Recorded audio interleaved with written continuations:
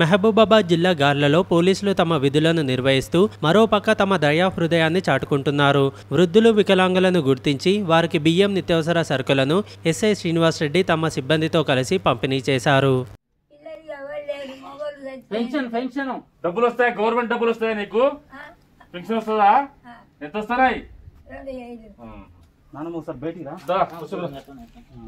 ముందు రా